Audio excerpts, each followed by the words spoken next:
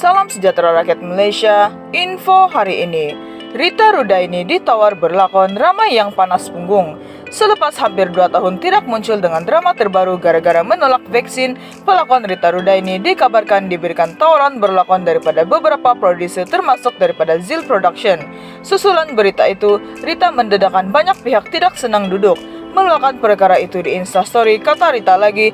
Dia berkata ianya masih dalam perbincangan dan belum memberi kata putus. Sejak semalam viral bila produser beritahu hendak ambil saya untuk berlakon dengannya. Ramai yang tidak senang duduk nampaknya.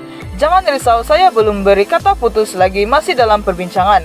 Tapi kalau itu yang tertulis saya tidak menolak rezeki dari Allah katanya Kata Rita lagi, dia menerima banyak tawaran berlakon sebelum puasa, namun terpaksa menolak atas sebab tertentu meminta kepada pihak yang kurang senang tidak perlu takut dengan dirinya.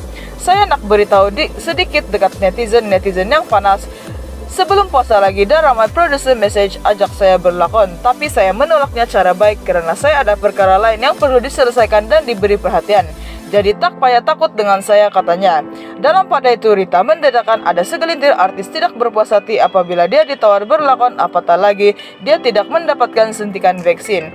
Malah Rita turut menyindir meminta pihak produser supaya memberikan watak yang ditawarkan untuknya kepada artis berkenaan.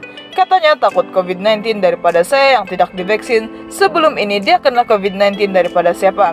Satu set dijangkiti COVID-19 daripada siapa? Bukan sudah berdos-dos cucuk vaksin ke? Berilah watak saya untuk artis yang bising tuh mana tahu senyap nanti katanya. Terdahulu Rita berkata dia tidak kisah jika tidak mendapat job atau namanya digugurkan daripada mana-mana produksi disebabkan tidak mau menerima vaksin karena dia percaya dengan rezeki Tuhan. Sekian info hari ini. Terima kasih.